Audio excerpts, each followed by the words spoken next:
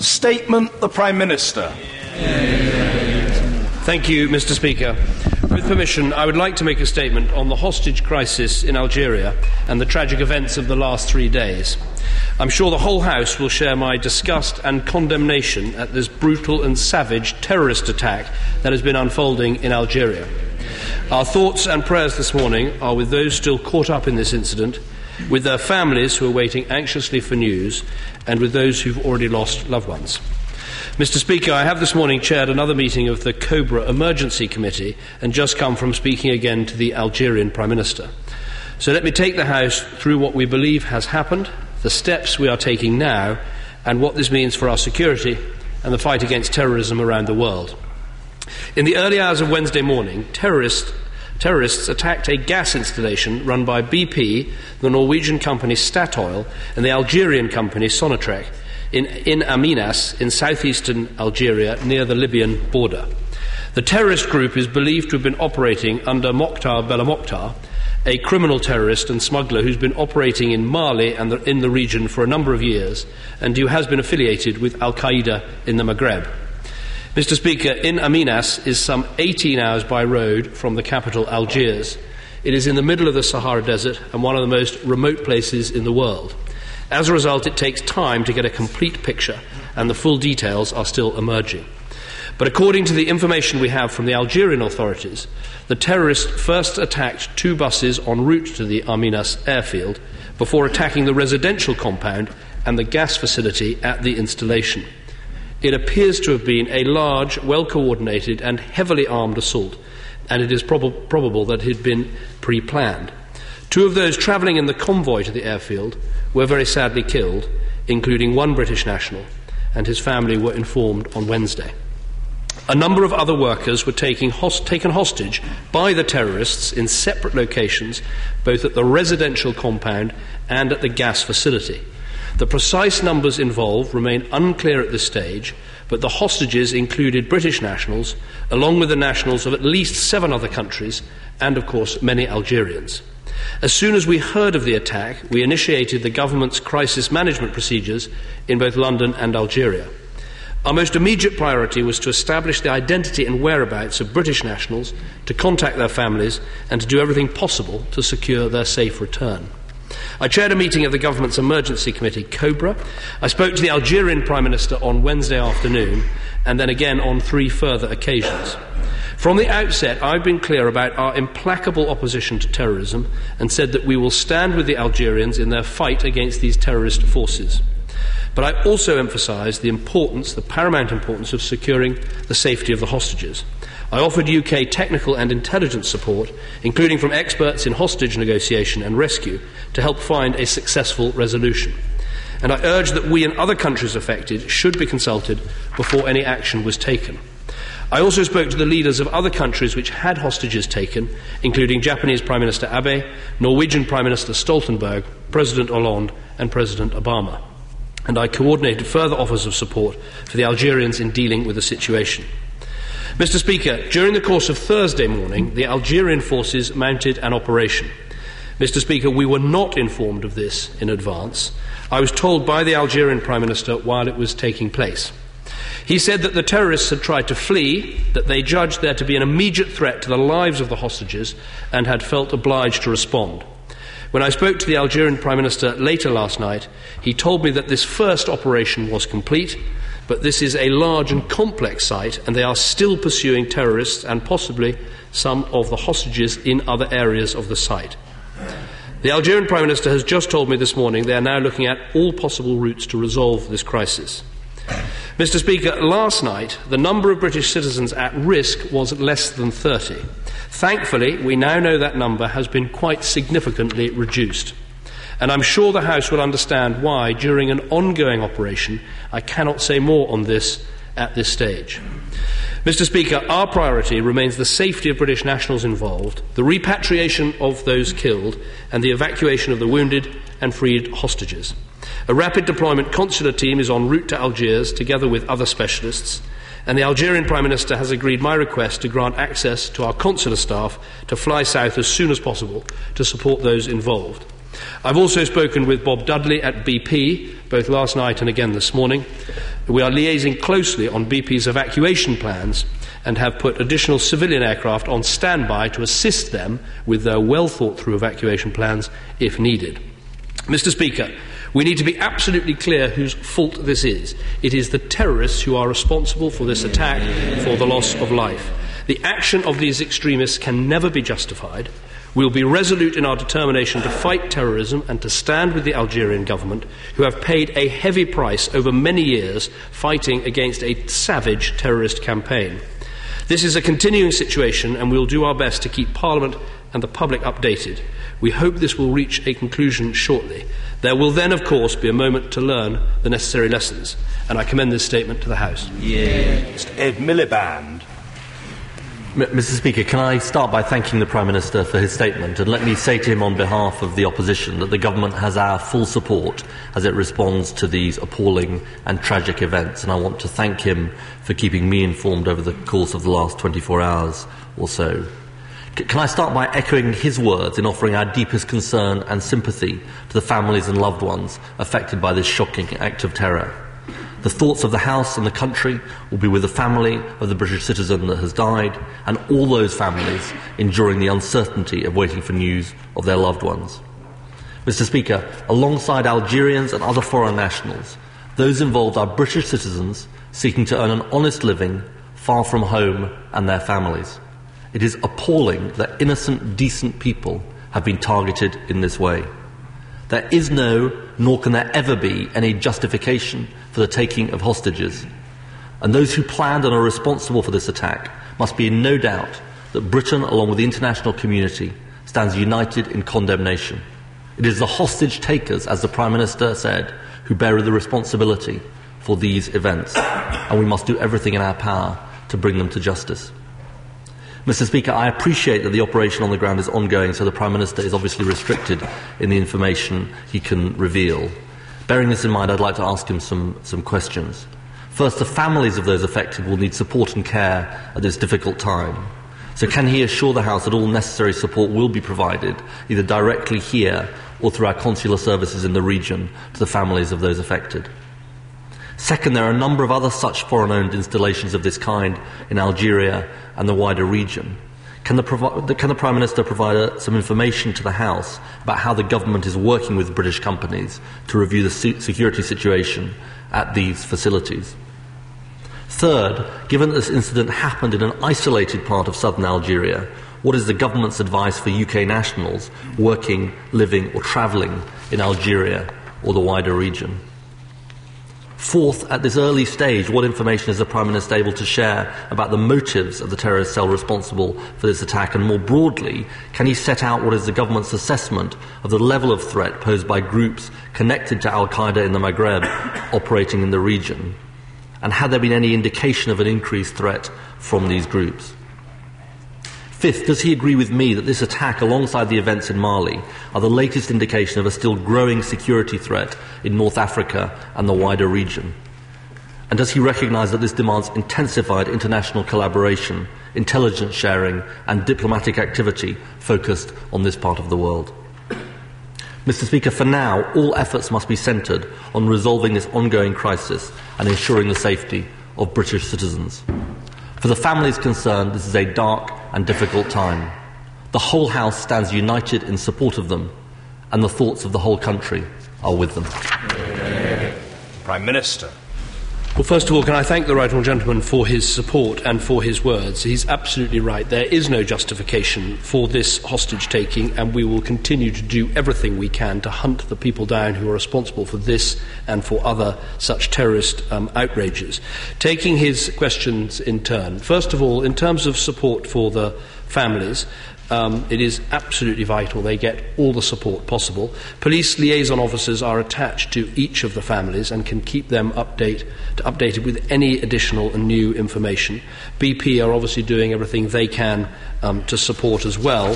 BP have made a statement uh, this morning, uh, which is important because it sets out what they've done to repatriate uh, BP staff from Algeria, and three flights left Algeria yesterday, carrying a total of 11 BP employees. Um, we are providing a backup service to make sure that if there are any gaps in what BP are able to do, we can uh, fill those gaps. His second question about the security of other installations is absolutely vital. We're urgently coordinating with British and Western oil companies in the region about their security in the light of this incident. All installations in Algeria are on a state of high alert and additional, additional security measures will be put in place where necessary. We've also taken precautions to ensure the security of diplomatic posts in the region uh, and given them uh, advice. He mentions travel advice. This is an important issue. Uh, we continue to advise against all but essential travel advice to Algeria. We also advise against all but essential travel to areas within 450 kilometres of the Mali and Niger borders and within 100 kilometres of the Mauritanian uh, border. Uh, and the ter- travel advice has been updated to read specifically a serious terrorist attack has taken place near the town of In Amenas near the Algerian border with Libya. Uh, the Algerian security forces have subsequently conducted operations in the area. It remains a very dangerous, uncertain, and fluid situation. In terms terms of the motives and the precise identity of the terrorists, it is always difficult uh, to determine that at this um, early stage. But what we know is the terrorist threat in the Sahel comes from Al Qaeda in Islamic Maghreb, AQM. They aspire to establish Islamic law across the Sahel and northern Africa. And they also aspire to attack uh, Western interests in the region and, frankly, wherever they can. Um, he asked quite rightly about uh, the growth of the threat from this part of the world. It is growing. It is a focus, quite rightly, uh, for us and for other countries. The truth is, just as we have reduced uh, the scale of the Al Qaeda threat uh, in other parts of the world, including in um, Pakistan and Afghanistan, so the threat has grown in other parts of the world, and we need to be equally um, concerned about that and equally focused on that. So um, I hope that answers uh, his questions. I think there is a great need, not just for Britain, but for other countries, to give a real priority to understanding better and working better with the countries in this region. Uh, this government has held a National Security Council meeting quite recently on this area. I appointed the Right Honourable Member for Eddisbury uh, to be a special envoy to this region, which obviously is a region with very, very great uh, um, French influence uh, and uh, contacts to France, but where we believe it's very important in our own national interest to thicken and improve our contacts with these countries, and that is what we must do as part of the lessons learned from this exercise. I'm grateful for his questions and the way he puts them. It's difficult to answer further questions on, uh, particularly on numbers, but I will try and keep the House and the country updated. Order. Sir Malcolm Rifkind. The Prime Minister will recall Churchill's remark that North Africa is the soft underbelly of Europe. Uh, does uh, my right honourable friend agree that that is true today and that Al Qaeda either inspired or directed terrorism is as much of a threat to the people of this country and of Europe as it is to the unfortunate people who live in that region. Given that the United Kingdom traditionally has not had a strong presence in that part of North Africa, will, Prime, will the Prime Minister agree that there is now a very powerful case for a much stronger political, diplomatic, and intelligence effort in that region as part of a coordinated strategy uh, with our European and American allies and with the wider international community.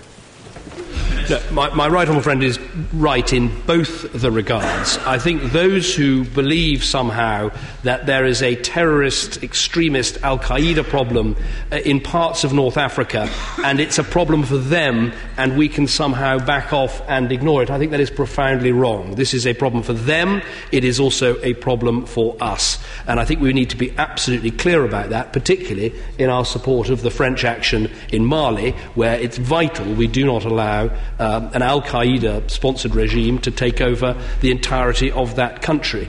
I also think he's right that we need, in our strategic uh, thinking and our strategic defence reviews, uh, to make sure we give proper priority to this um, area of the world. This government is now doing that, but I'm sure there's more work we need to do. Mr. Geoffrey Robinson. Grateful, Mr. Speaker. Uh, thank the Prime Minister indeed for coming and very appropriate that he reported as he did and the tone that he adopted in this very grave situation. He rightly says we must give the French every support. Can he just, and I, I think the whole House would agree with that, it's important they prevail, their intervention there, which enjoys the support of the whole Security Council and of the UN, does prevail. Uh, can you just confirm we have responded positively to every request for French from the French for our logistical uh, help or other help where we've been able to, to provide it. Uh, I'm happy to give the right honourable gentleman that assurance. I think we were the first country anywhere in the world to get onto the French and to say how, ask how we could help, and then to deliver help in the form of two C-17s, uh, one of which has actually been transporting uh, French troops into uh, Mali. I spoke again with President Hollande yesterday uh, and said that offer of the continued use of that C-17 was there, and we're also look looking at a range of other things that we can do uh, to help in terms of logistics and backup. as I've said, we fully support the French action. The threat in Mali of a, effectively a, a rebel regime supported by terrorists, supported by Al Qaeda, taking over that country is not just a threat to that region, it is a threat to the world. Of course, we should also be helping and are helping with um, encouraging other countries in West Africa to bring troops into Mali to help uh, defend the Malian government, the Malian people. And there are good signs that uh, countries in West Africa are taking uh, that lead and, and uh, helping to achieve that effect. But we should continue to work very closely with the French, and I will do so in order to see how further we can help. Mr. Martin Horwood. The uh, EU military training mission in Somalia has achieved great success, and there is uh, now similar plans to support the Malian armed forces with an EU training mission. Do these terrible events actually demonstrate a wider need uh, for training and support for authorities across the region, both to increase resilience to attack but also to improve the chances of successful outcomes that minimise loss of life when terrible events like this do happen? Well, I think my honourable friend is entirely right. They do, these events demonstrate the importance of training missions. They also demonstrate the importance of having uh, good and strong politic, political, diplomatic, and military relations uh, with countries in the region. I would also say the example in Somalia shows the importance of encouraging uh, neighbouring countries to, to, play a role in helping to provide security and helping to, um, to, to, rebuild those countries. Clearly, as I've said, in Mali, we support the action the French government has taken, but I think over time it is very important that it's the countries of West Africa that step up to help provide stability and beat back terrorism in this country. Mr. Angus Robertson. Thanks, Mr. Speaker. I thank the Prime Minister for his statement. This tragedy is touching families in a great many countries and it's causing fears for families in many places, including Scotland. Can the Prime Minister give an assurance that there's the greatest possible coordination with the Scottish Government to make sure that families receive all necessary support? I can certainly give the honourable gentleman that uh, assurance. Uh, the Foreign Office uh, Minister um, the honourable member for um, uh, North East Bedfordshire has spoken on several occasions to Kenny MacAskill. I myself spoke to the first, Scottish First Minister uh, yesterday. Um, I think it's very important we work together very closely on this, and we'll try and keep you updated on all the information. Sir Tony Baldry. Some uh, terrorist atrocities, obviously, some time uh, in the planning. They needed to acquire weapons, quartermasters, all that kind of stuff.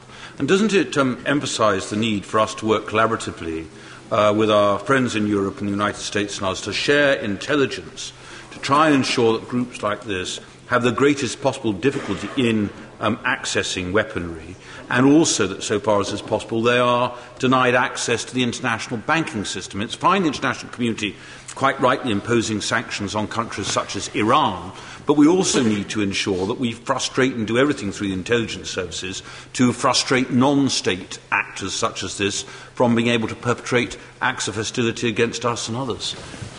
I, I, think my honourable friend makes a very important point. We have to do everything we can with our partners uh, in terms of security and intelligence cooperation to provide as little space as possible for these terrorist organisations, whether that is in the banking system or, frankly, whether it is in the availability of safe havens. And that is what is so concerning about what's happened in uh, West Africa, where you know, Mali has become a, a safe haven for parts of Mali become a safe haven for these terrorists. So he's absolutely right in what he says.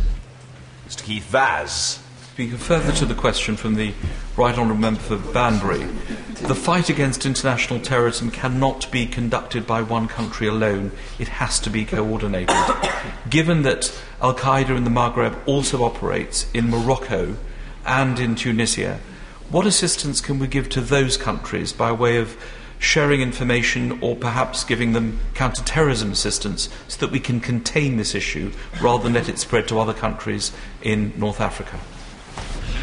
I think the uh, Right Honourable Gentleman makes a, a, very important point. Obviously, we have good relations with countries like Tunisia and Morocco, good relations at a political and diplomatic uh, level.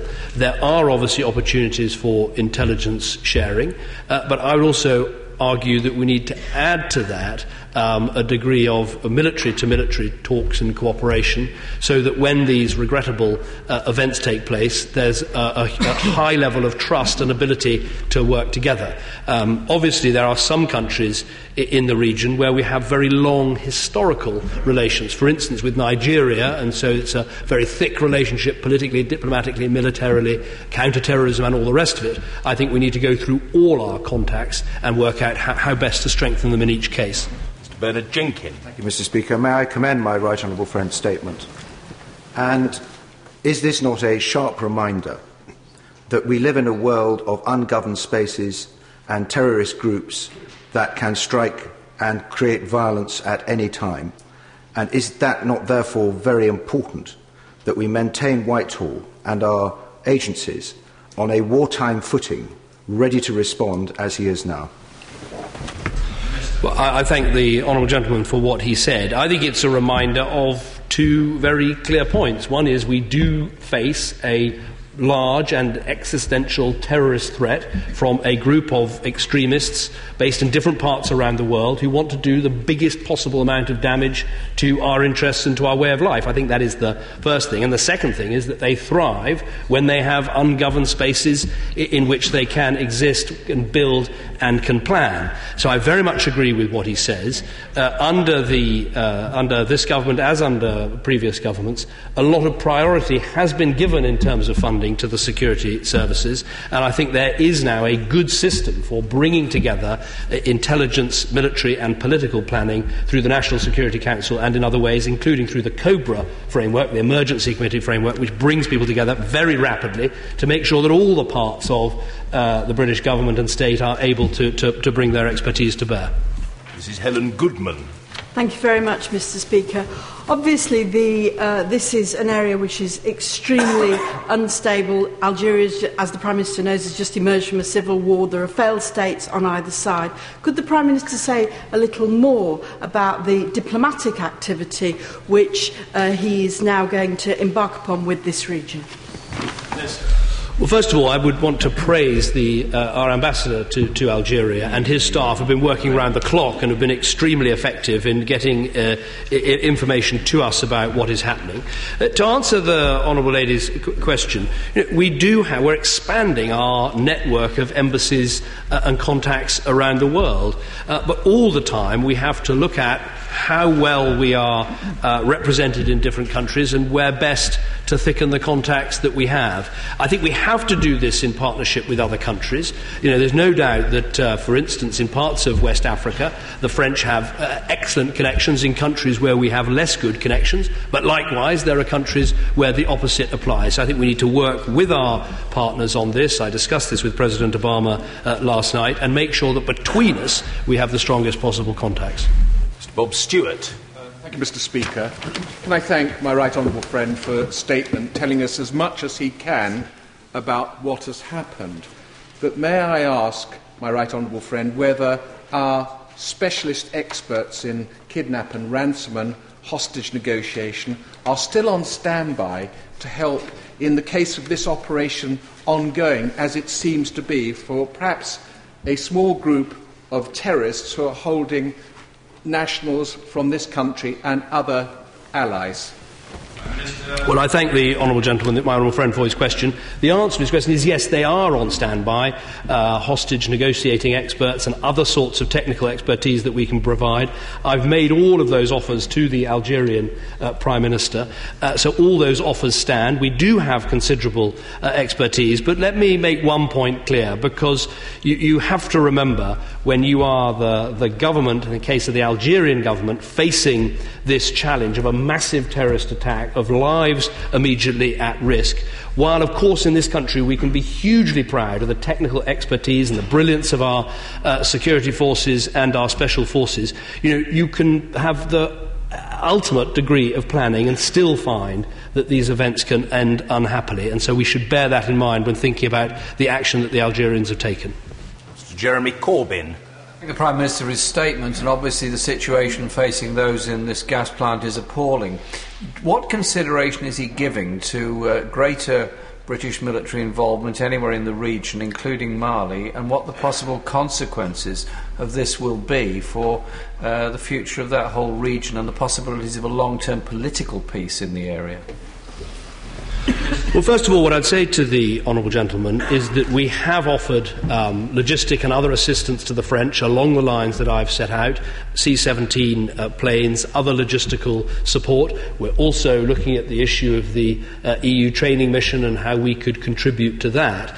Uh, I don't believe in, in Mali we're talking remotely about uh, combat troops or, or uh, that sort of approach. That is, that is not the role we see for ourselves in. Um, in that conflict. But I would just say again, I think we should strongly support what the French and what the West African countries are trying to do in Mali, which is to push back uh, the rebel forces who are backed by Al Qaeda to make sure they cannot take control of that country. And I would very much caution against uh, anyone who believes that if somehow we stayed out of these issues, and just said this has got nothing to do with us, that would somehow make us safer. I don't believe uh, that is the case. The uh, uh Al Qaeda in the Islamic Maghreb, AQM, is out to harm, kill, maim, do the worst it can against Western interests, including uh, British interests. Uh, and I think we have to bear that in mind. That is a terrorist threat that we face that is made worse when we have so much ungoverned space in Mali at the same time.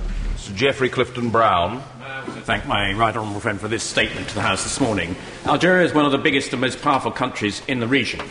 Uh, would he undertake to maintain the closest possible uh, diplomatic links with them? After all, our relations with them have improved considerably in recent years, not only to combat the immediate short term humanitarian needs, but also to combat the emerging jihadist uh, threats in the Sahel and Maghreb regions.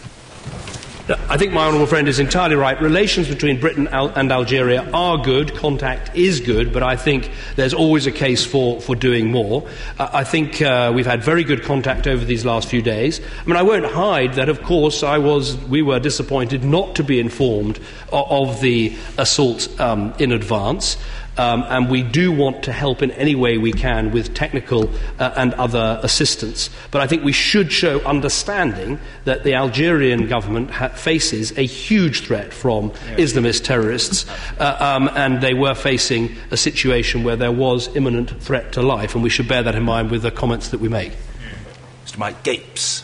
Mr. Speaker, can I uh, thank the Prime Minister for his statement and uh, ask him to uh, reiterate the importance of the economic relationships between Algeria and this country.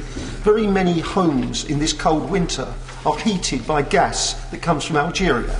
Not just in this country, but also in other parts of Europe. And surely the key message here is we will not allow the terrorist organisations to break that economic relationship, undermine that economic relationship, which is not just in Algeria's interest, but also in our interest. I think the Honourable Gentleman puts the point extremely well. The one of the most important things about our country is what an open, trading, investing country we are, and we have people who, uh, who, who, are British citizens who live and work all over the world. And as I thought the Leader of the Opposition put it particularly well, they are working hard to do the right things, and we should support them in that. And we have to recognise that as a result, that puts a particular emphasis on the importance of our foreign and diplomatic um, policy and also the military cooperation we have, have with other countries, because part of the role of, of government is to try and help to keep our citizens safe uh, wherever they are. And I think in that, those terms, he's absolutely right about the economic relationship between us and Algeria. We have many companies with huge expertise in uh, exploration of oil and gas. They're a major part of the British economy. We should be supportive of them, and, and the work they do in Algeria is vital for Algeria. It's also vital for us. Mr. John Barron. Speaker, it is essential that we conduct an urgent review regarding the security of our people working in the region, liaising not just with the appropriate companies, but local governments as well. But given that this the possible links between this tragedy and the situation in Mali, a situation that's been deteriorating for some time. Was a threat assessment undertaken um, regarding our interests in the region? And if so, what action followed from that? Well, the answer I'd give my honourable friend is that we are constantly updating the threat that we face from operating in any country, anywhere in the region.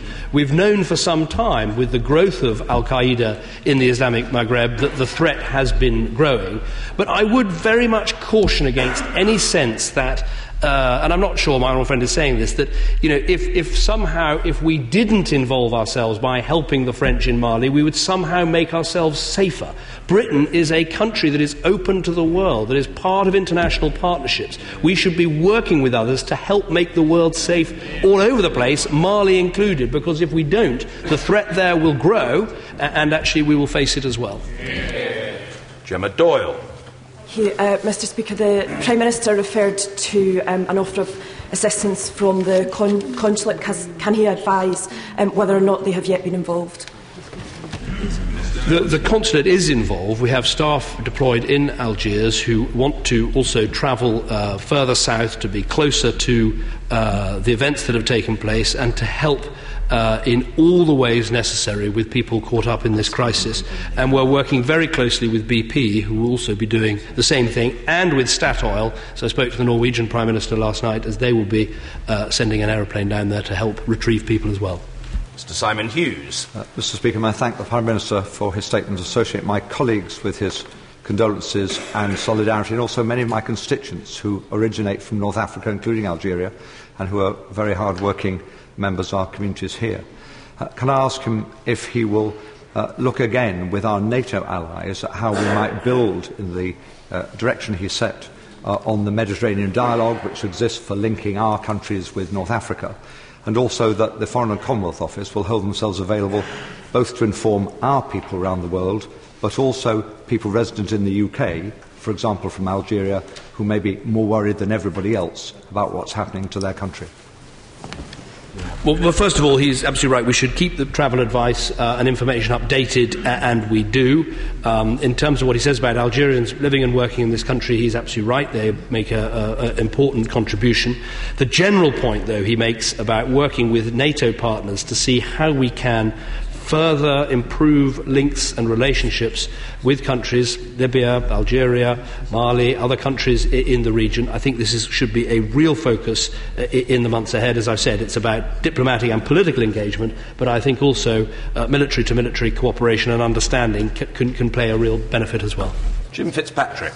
Speaker, I spent some time earlier this week as part of the police parliamentary scheme with CO 15, the counter terrorist unit at uh, Scotland Yard. Can the Prime Minister reassurance that the Government will continue direct funding from the Home Office and the Foreign Office for the excellent work that those officers do protecting us at home and abroad against terrorists? And can he also assure us that the Government will continue its efforts particularly given Ben Macintyre's excellent article in the Times today, to close down the space for those who would use religion as an excuse for intolerance, whether here or abroad, at best or at worst, violence. Well, I haven't read Ben Macintyre's column, but I will try and do so uh, later today. In terms of policing, we see the ter- anti terrorist policing and the work they do uh, as absolutely vital, uh, and this uh, we will continue to prioritise. Penny Mordaunt. Thank you, Mr. Speaker. Can I thank the Prime Minister for getting his priorities absolutely right? And um, it, this is clearly a fast moving and complex situation. Can he reassure the House that families who have a loved one caught up in this situation will be able to access information about the general situation, what information is available, as opposed to having to wait until there is specific news about their loved one? Yes. Well, I'm, I'm, very grateful for what she says. In terms of the families, and our thoughts should be absolutely with them, they would have had a truly uh, dreadful uh, few days as they think about their loved ones. I'd reiterate what I said about all of them have police liaison teams attached to them and should be able to get the latest information. Uh, I completely understand that there's always a balance to be struck as a government about making any comment uh, about these events as they continue and the dangers of doing so. But on the other hand, there is the danger as there is so much other information around from other countries, other governments, that I think it is important to try to give a consistent and clear message about what is happening, about the government's priorities, and what we're doing to help in this very difficult situation. Thomas Docherty. Yeah. Chief of the Defence Staff, shortly before Christmas, proposed that one of the new infantry brigades be formally assigned to do partnership work with the Gulf and Jordanian armies. Will the Prime Minister consider extending that formalised arrangement uh, under Force 2020 to North Africa? Yes, I think the Honourable Gentleman makes an excellent suggestion, and the Chief of the Defence Staff, I know, has been looking at uh, whether there's more we can do in terms of uh, military exercises, military operation, military cooperation with the countries uh, of West Africa. Uh, clearly, in the Mali situation, it's absolutely key that uh, Ghanaians and Nigerians and Nigerians uh, and others bring forward um, troops to help in that country, and we should be thinking, what can we do to help assist in that process? And I think this is the strength of having regular strategic defence and security reviews to ask where the threats are coming from, where we can make the greatest difference uh, with the very talented and professional armed forces we have, and that's exactly the sort of question we should be asking. Adam Afriyie. Uh, thank you, Mr. Speaker. May I commend the um, Prime Minister's decisiveness, swift, swift, action, and leadership in a difficult situation. Clearly, we must um, defend our British citizens abroad, and I very much welcome the support given to the Algerian, French, and Malian governments. Um, could he just perhaps say a few words about the continuing role he sees for the United Nations and our role in the Security Council with regard to this situation? Well, I think my honourable friend makes an important point about the role of the United Nations and, and perhaps enables me to answer better the honourable member for Islington's question about the importance of political processes in all of this. I profoundly believe in, for instance, in Mali, there is a military part of what needs to happen, which is beating back uh, the terrorist sponsored uh, Al Qaeda backed rebels. Uh, but clearly, um, in all situations like this, there needs to be uh, political processes as well to recognize the deep political problems that many of these, these countries have. And so, our role on the United Nations as a member of the Security Council, permanent member, I think we can play an important part in coordination with our allies to help get these political processes right. But I would caution against people who think that you can find a purely political and diplomatic answer to the Malian uh, crisis, there is also a problem, a clear and present danger of a terrorist backed regime trying to take over the whole of that country. Nick Smith. Thank you, Mr. Speaker. Can the uh, Prime Minister please tell us more about the government's assessment of the links between the terrorist groups in Algeria and with Al Shabaab and Boko Haram? Well, I think the best way to, to answer that question is that, that all of these organizations that are linked to Al Qaeda are therefore uh, linked to each other. Uh, some of them have a tighter relationship with the senior leadership of Al Qaeda and some slightly looser, but all of the groups he mentions, whether it is Al Qaeda in the Maghreb, whether it is Boko Haram in Nigeria, uh, or any of the other organizations, they are all pursuing similar goals of violent extremism and also wanting to damage as harmfully as possible uh, the interests of countries like Britain. Andrea Leadsom. Thank you, Mr. Speaker. Is my right honourable friend able to reassure the House that not only European governments, but also all North African governments are united in their condemnation of this terrorist action? I believe that I am. I think that uh, the reaction uh, from all governments across Europe, um, North Africa, and in the wider world have been completely condemnatory of this uh, terrorist attack. And I think it's very important that we speak with a united voice in saying that this sort of terrorism is never justified, and frankly, it has to be defeated. Um, and you cannot do all of that through some political process. There's a very important security and robust security response that's required. Tom Greatrex. Speaker, the Prime Minister has referred a couple of times to the fact that the oil and gas industry is an international industry and there are a considerable amount of mobility of labour from uh, British nationals working abroad and the liaison with British-based companies. But could he say a little bit more about the assessment that's been made of a number of British nationals working in this industry, not necessarily for British-based companies or, or even Western companies, who are working either as directly or as subcontractors uh, in that region, and what advice and guidance will be supplied to them? Well, well, first of all, uh, as I said in my statement, we are working with all of the oil companies to talk to them about the importance of greater security, and obviously, all of the countries in which they operate will want to provide greater security. For the Algerians, for instance, where you know, a large percentage of their economy is provided by oil and gas, it's in their interest as well as our interest that these companies are able to operate properly in their countries. I think there is, my experience already from this um, uh, episode is I think there is perhaps more we need to do to make sure the companies have a really good and up to date record of all the people not only who work for them but who work for any subcontractors so that when anything does go wrong we have the swiftest possible information about who is involved and who is safe. And on this occasion there were some issues and difficulties around that. Jake Berry. Speaker, I thank the Prime Minister for his statement to the House this morning. In his statement, he referred to an agreement he'd been able to obtain from the Algerian Prime Minister for our diplomatic mission to go south as soon as possible. He also referred to the remoteness of this region. Could he let us know when that is due to happen and whether that will improve the flow of information back to families? Um, well, I thank the honourable friend for the, his question. We hope that the ability of our ambassador and others in the di- diplomatic team to travel further south, that will happen today, uh, and the ambassador has a plane on standby to do exactly that. Um, in terms of getting more information about what has happened, I think that will help. But clearly, we're still dealing with a very fluid and dangerous situation when a where a part of the terrorist threat has been eliminated in one part of the site, um, but there still remains a threat in another part of the site.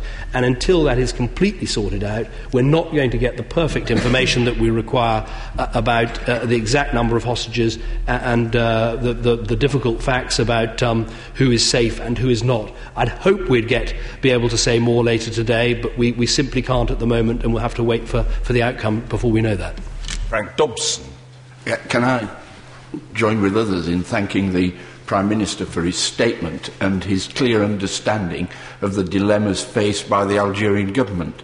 But uh, could he tell us whether, in view of the recent rise in tension in the area, any of the oil companies operating in Algeria sought extra security measures from either the Algerian government or their home government? I can't give the right honourable gentleman that assurance today. Uh, um, obviously, like the government, which makes uh, you know, has an ongoing assessment of risk based on intelligence that comes uh, through and is properly analysed uh, by uh, the Joint uh, Terrorism Assessment Centre, JTAC, com- companies as large as BP also spend a serious amount of time thinking about security and risk. But he asks a good question, and I will certainly look into it for him. Mr. Henry Smith. Thank you, Mr. Speaker. I commend my right honourable friend for his statement. And whilst this terrorist attack uh, is uh, likely to have been domestically planned in Algeria, given the proximity to the Libyan border, what evidence is there of wider involvement from, other, from factions in other states? Well, I thank my honourable friend for his question. I don't think we can be certain about where this was planned. We know that there are real connections between uh, Islamist extremist militants in Algeria and those in Libya, and also we know there are very real uh, connections between those in Algeria and those in Mali. The fact is, these are all part of terrorist networks, and they use what available um, ungoverned space there is in order to, as I've said, plan, build, and thrive. So, if we look across this region, quite clearly what we need to do is to back the French and the West African countries that want to improve the security situation in Mali. We need to work with the new Libyan government to reduce the quantity of ungoverned space and make sure there's proper security in that country and that weapons are properly accounted for. And obviously, we need to thicken our contacts and work well with the Algerians to help them in their long running battle against terror. Do all of those things, and probably more besides, and we will have helped to make this part of the world uh, safer and more secure, which would be good for itself, but would also be good for us too. Sir Robert Smith. Thank you, Mr. Speaker. Oil and gas companies may seem big and remote, but the people that work for them are part of a close knit global family. And many of my constituents commute to places like Algeria whilst their families stay at home. Does the Prime Minister recognise the extra stress that's put on them when, when there is a shortage of information and people start to speculate about the worst case possible scenarios? And would it be better, for, if at all possible, that speculation is kept to a minimum whilst the information is sought so that accurate and coherent information is given to the families? I think my honourable friend is absolutely right in what he says. Um, many people in our country work in far flung places uh, to provide for themselves and their families, and we need to support them and think of them as they do that. I think he's absolutely right as well to say we have to be very careful uh, not to give out uh, information that in any way uh, would be unhelpful. We have to remember that the terrorists watch CNN as well, as someone put it yesterday. Uh, I also respect the fact that we need to be extremely careful in what we say because of the families sitting at home uh, worrying desperately about their loved ones. Uh, uh, uh, the difficult balance, which the government will always try and get right, is because there's so much information being provided in the global news environment in so many different ways. I think there's, a, there's just as there is a danger of saying something, so there is also, of course, a danger in saying nothing. And I think we have to try and balance this very carefully as we've tried to do in recent days. Stephen Phillips. Very much, Mr. Speaker. Can I also thank my right honourable friend for his statement? Uh, he's indicated to the House that there is additional consular support on the way. Uh, those in the region may be aware of this statement today. Can he say, tell the House how that additional consular support can be accessed by those in the region? And can he also tell the House how those at home who don't have uh, police, liaison, police liaison teams uh, attached to them but who may be concerned about those in the region can access information from the Foreign and Commonwealth Office?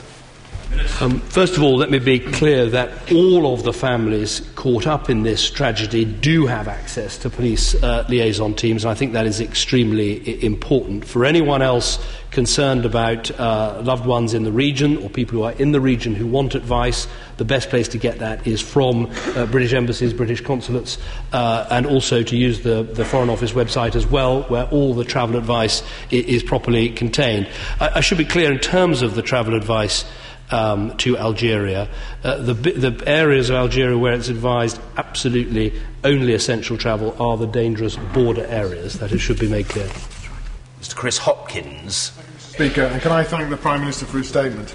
Um, following the apparent reluctance of Algeria to uh, receive assistance, is the time approaching that an international force was developed to be able to respond to such terrorist attacks, perhaps under the auspices of the United Nations, so giving countries like Algeria confidence about our intentions? I think my honourable friend makes uh, an important point, but I think there are difficulties with this. In the end, we have to respect the fact um, that different countries have territorial integrity, have to make decisions that they think are in the interests of their own people, their own countries. Um, I think what we should be doing is trying to make sure that in every case there's the best possible contact and relationship between uh, countries like ours, where regrettably, for reasons of history, we've had to have a real expertise in hostage rescue and negotiation, and other countries. Now, obviously, we won't have the resources to have that relationship with every country, but we should be working with allies like the French and like with the Americans and thinking where best can we add uh, value in those sorts of relationships. Obviously, in a country, as I said, like Nigeria, we have a very strong relationship on that front, and I think uh, it's an opportunity, perhaps with the G8 and at other uh, international gatherings, including NATO, to work out how we can all do more so that when these uh, dreadful crises occur, access to the best available technology, surveillance, advice, help, and everything is, is more, easily, um, more easily delivered. Mark Reckless. I congratulate the Prime Minister on his calm and uh, assured response through the crisis. In coordinating our response, how many of the COBRA meetings held has he had to uh, chair personally? The, the, way that COBRA works is it brings together officials from across government, uh, the Ministry of Defence, our armed forces, the police, and of course the security services, and it can meet on an almost rolling basis in terms of bringing the latest information and intelligence to bear. Um, that, that, so it, it meets under official guise very regularly. I've chaired three COBRA meetings so far during this crisis, and there'll be another one later today to bring together the latest intelligence and, and I- information. And I'd just like to take this opportunity to thank those in the British government who've been working around the clock to try and get the latest information so that the right decisions can be made. Harriet Baldwin. Thank you, Mr. Speaker. Uh, to what extent does the intelligence confirm the supposition that the planning for this appalling atrocity must have long predated uh, the French incursion into Mali last week? Well, I think my honourable friend asks an important question. It's very difficult to give a certain answer, but I think what can be said is because of the scale of the terrorist attack on this um, gas installation in Algeria, because of the numbers of people involved, the sophistication of, of the weapons that they had, it looks likely it was some time in the planning. But uh, as I've said, I think it would be uh, very ill thought through to say that even if it was the case there's a connection with Mali, to say somehow we are wrong to help roll back terrorist advances in Mali because it might threaten us elsewhere. I think that is entirely wrong headed thinking. We should be in favour of rolling back terrorist uh, advances in Mali because it will help make us safer elsewhere as we squeeze the ungoverned space and recognise that these terrorists should have no place to hide. Mr. Philip Hollobone. I commend the Prime Minister for his level headed, energetic, and resolute response to mm. these developments. The West is not going to solve the problem of Islamic insurgency in the Sahara on its own. Given the colonial heritage of the African continent and the fact that this insurgency is taking place across borders, is there a role for both the British Commonwealth and the French Commonwealth within the African Union to ensure that ultimately there's an African solution to this problem? I'm, I'm very grateful to my honourable friend's um, remarks. I think he makes an important point about how particularly France and Britain uh, should work together. Uh, obviously, it is better to find um, African solutions, whether it is in Somalia, where African neighbouring countries have played an important role, or in Mali, where we hope West African countries will play a role. But clearly, countries like Britain and France, with good relations, good contacts, good uh, knowledge of, of African countries, good partnerships with them, we should be working together. And I think there are opportunities uh, to put aside some of the traditional divisions between Anglophone and Francophone Africa, to recognise it's in our interest to boost the capacity of all African states to help deal with these problems, and we should work very, very closely with the French as we do this. Mr. Philip Davies. Thank you, Mr. Speaker. Further to the question from my honourable friend for Keighley, there may be some concern that the Algerian government didn't take up the offer from my uh, right honourable friend for the use of British special forces. Does he know why that offer wasn't taken up, and what assessment has been made by the government of the uh, expertise and capability of the Algerian forces to uh, secure the maximum number of hostages release, uh, given that there's so many British uh, citizens uh, in danger? Um, well, well, first of all, let, let me be clear. Um, of course, we made the offer to the Algerians to help and assist in any way we could. There are obviously limitations as to what we're able to do given the logistics and the amount of time it takes to put teams together and get people um, uh, to other sides of, of the world. Um, in terms of uh, the Algerians themselves, I think we should show some respect and understanding of the fact yeah. that this country has yeah. fought a long civil war against the most aggressive and violent form of militant uh, Islam. Uh, I think we also should uh, recognize that, yes, of course, we do have uh, expertise. We do pride ourselves on the brilliance of our um, special forces, but clearly the Algerians felt they had to make decisions very quickly. They felt there was an urgent um, threat to life, um, and so they decided to act as they, they, they did. As I've said, I regret the fact that we weren't informed in advance, and of course the offers to help were there and are still there, but we do have to understand it was the danger they faced and they felt they had to act. Mr. David Nuttall. Thank you, Mr. Speaker, and can I thank the Prime Minister for his statement this morning and indeed for his calm, assured, and dignified leadership at this very difficult time. I know the whole country uh, will agree that he's made exactly the right call by being here uh, this morning. It is too early to know whether any families in my constituency have directly been affected, but I know that uh, all their thoughts and prayers will be those who uh, with, with those families who have been directly affected. Can the Prime Minister just say to the House what assessment he has made of the risk of a similar hostage incident being taking place in, in the region el- elsewhere? Well, the, I'm very grateful for the, my honourable friend's remarks. The advice that we have received is that um, there is a realistic threat of other such attacks um, uh, in terms of within the, the region um, and against uh, similar types of installations, and we have to guard against that. That is why we've had discussions with the oil companies. That is why uh, we have discussions with governments about what more they can do. Um, I think we have to recognise we face a terrorist threat um, right across the region, right across the world, and because of this uh, event, it, it is the case that we should be very, very um, wary and, and, and recognise that further such attacks are possible. Order.